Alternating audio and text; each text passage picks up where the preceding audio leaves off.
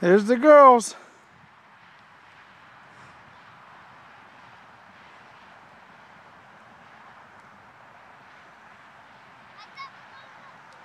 Oh.